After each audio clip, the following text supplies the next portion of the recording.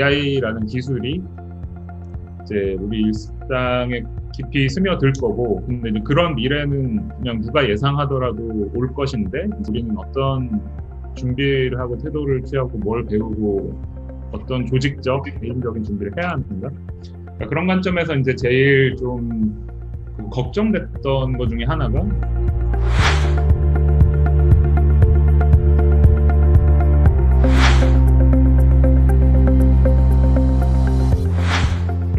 인공지능 기술이 이제 단순히 약간 wow factor를 넘어서 좀 실제 제품 서비스 우리 피부에 와닿는 뭔가로 이제 오기 위한 그 약간 언덕을 지금 넘는 단계가 아닐까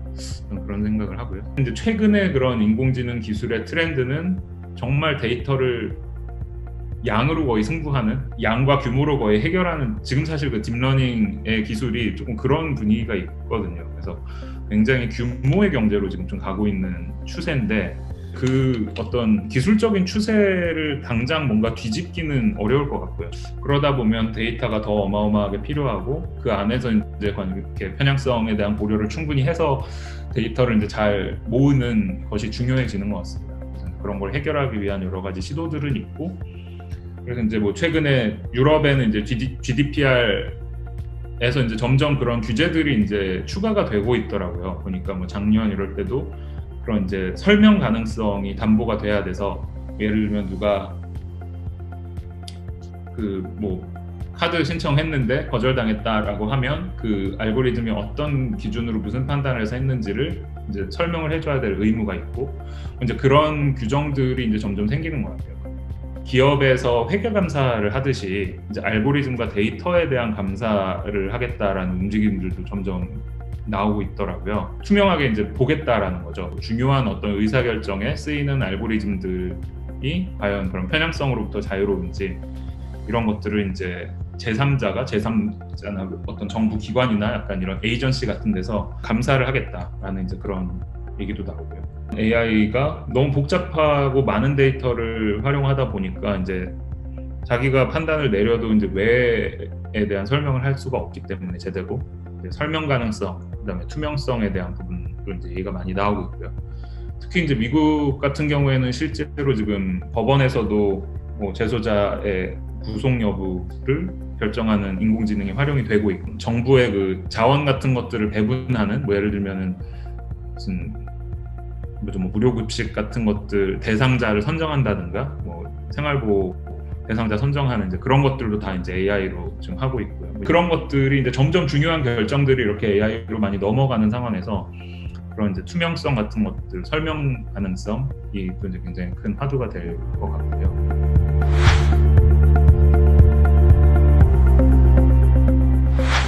AI라는 그 기술이 이제 우리 일상에 깊이 스며들 거고 근데 이제 그런 미래는 그냥 누가 예상하더라도 올 것인데 우리는 어떤 준비를 하고 태도를 취하고 뭘 배우고 어떤 조직적 개인적인 준비를 해야 하는가 그러니까 그런 관점에서 이제 제일 좀 걱정됐던 것 중에 하나가 언론에 약간 탓도 있을 수 있고 뭐 대중의 그런 좀 뭐랄까요 막연한 그런 두려움 같은 것 때문일 수도 있는데 뭔가 이제 AI가 사람을 대체할 거다 혹은 이제 AI랑 사람이 뭔가 이 대결 구도로 가서 누가 누구를 이길 거다 아니면 어떤 영역에선 이미 이겼고 계속 더 이겨 나갈 거다 이런 식의 이제 그 이야기가 계속 흘러가는 게 저는 좀 위험한 부분이 있다고 생각을 해서 이게 이제 뭔가 누가 누구를 이기는 문제가 아니라 사실은 이 AI라는 굉장히 그 가능성이 높고 잘 될 수 있는 이 도구를 우리가 어떻게 사용해서 더 뭐 새로운 산업을 만들고 새로운 가치를 제공하고 할 것인가가 중요한데 이제 그런 얘기들보다 AI의 어떤 성능 자체 사람보다 잘한다 못한다 약간 이런 쪽에 너무 좀 담론이 치우쳐져 있어서 이제 그 그런 것들이 좀 제대로 잡히지 않으면 AI가 점점 더 이렇게 적용이 되는 상황에서도 결국에는 좀 악영향이 많이 있지 않을까. 그러니까 그런 측면에서 보면은 이제 저는 약간 자동차 생각이 나더라고요. 그러니까 옛날 이제 뭐 백, 백 몇십 년 전에 자동차가 처음 나왔을 때 말을 타고 다니고 막 인력거를 타고 다니고 하다가 막 너무나 빠르고 너무나 멋진 이 기계가 나와가지고 이제 막 누가 봐도 와 이런 게 정말 이제 퍼지면 완전히 다른 세상이 되겠구나라고 생각을 했을 텐데 사람보다 자동차가 빠르니까 뭐 우리는 존재가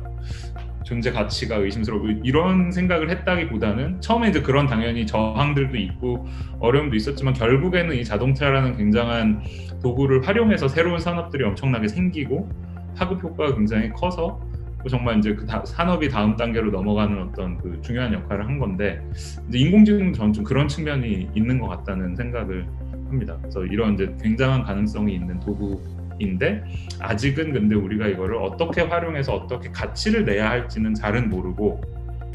그 가능성에 대해서는 어느 정도 이제 확인을 하고 있는 그런 단계인 것 같아요. 우리의 생각 자체가 자꾸 이제 그런 식으로 생각하다 보니까 뭔가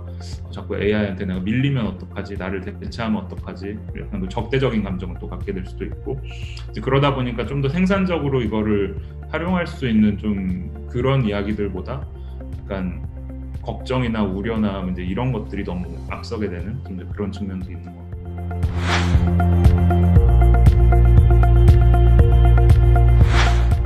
그러니까 작년에 약간 좀 제일 저도 이제 많이 들었던 질문 중에 하나는 그래서 그럼 이제 AI 교육은 어떻게 해야 하는가? 초등학교 때부터 학생들한테 딥러닝을 가르쳐야 하는가? 이제 AI도 보면은 다들 이제 처음 배우는 비슷하거든요. 막 뭐 딥러닝 기초 배우고 막 수학 수식도 좀 나오고 하는데 그러니까 AI를 배운다라고 했을 때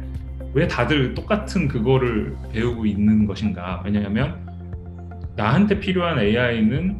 저게 아닐 수 있고 물론 뭐 이론적 배경 알면 좋은데 사실 그냥 솔직히 이야기를 하면 그런 AI 이론적인 기여를 할 가능성이 있는 사람들은 그렇게 많지가 않고 근데 왜 다들 AI를 배운다라고 하면 그것을 배우고 있는가? 오히려 저는 이루다의 사례 같은 데서 보는 데이터의 이슈, 뭐 개인 이슈, 법적 이슈, 윤리적 이슈 그런 것들이 어떻게 보면 더 중요할 수 있고 혹은 우리 도메인의 AI를 어떻게 접목할지에 대한 그런 부분에서의 새로운 어떤 교육 컨텐츠 같은 것들을 만들어내고 가르치고 아니면 이제 AI를 활용해서 어떻게 하면 더 내가 하던 일을 잘할 수 있을까 AI를 약간 협업의 대상으로 보고 파트너로 보고 컴패니언으로 보고 그러니까 이제 그런 관점에서의 이야기들이 더 필요한 것 같은데 조금 지금은 다들 그게 이제 AI를 다 뭔가 나를 넘어설 수도 있는 무서운 존재로 보기 때문에 얘의 원리를 까보자라는 식의 지금 교육만 있는 상황인 것 같아요. 그러니까 그게 이제 그런 대결 구도로 인지를 하기 때문에 오는 저는 되게 단점 중에 하나로 생각을 하고 그래서 이제 교육 측면에서도 그런 좀 한계가 필요하지 않을까 라는 생각이 들었습니다.